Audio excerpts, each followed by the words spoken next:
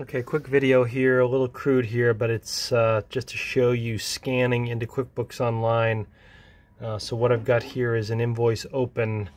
Um, so let's uh, let's just remove this item. Okay, so we're adding a new item to the invoice here by clicking into it. Okay, so you have the cursor active in that box. And now what I've got is a barcode of one of my items. And so this is what you would need to do is like if your item is an alphanumeric value like that, then that's a barcode representation of that item. So then you would take the scanner and you would scan that. Sorry, I'm going to try and do this together here. And that's kind of how QuickBooks responds to that. So um, I can't append a tab. It doesn't seem to like that. But all you got to do is press Enter on the keyboard and it puts that item onto the invoice um, if you press tab,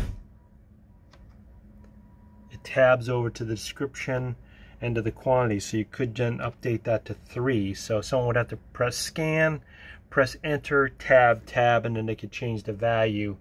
So you can scan into an invoice, but that's the process. So um, imagine that you might have to walk over to the item with a Bluetooth scanner and scan and come back to the screen because you're scanning into their software screen. So this is an invoice in QuickBooks Online. Um, you know, so you just have to imagine that the scanner is just quickly typing the item value into that box. Um, and I tried, my scanner doesn't have a, a sideways tab. If, QuickBooks seems to be not liking it when I append characters to have it automatically tab over to the quantity for you. But uh, you can definitely, though, eliminate mistakes by having everything barcoded. Like take all your items, we can help you get them barcoded. And then you would use, you know, this is a USB type scanner. Uh, we also have, uh, for about, you know, a little bit more money, we can get a Bluetooth uh, scanner, which is Let's see if I have one handy here to quickly just show you what that would look like. So the Bluetooth scanner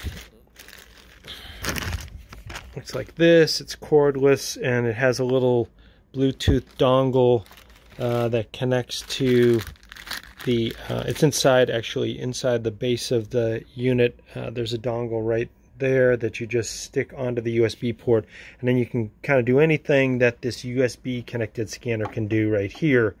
Um, basically the result is it's just emulating the keyboard. Whatever you scan will go into there the same way I just did that. So just to see that one more time, go down, make a new item uh, for the invoice, take the scanner, scan the barcode, Okay, and that's how it responds. You press enter key and the item's been added to the invoice. So that would have to be the process. So it's not built for scan, scan, scan really quickly.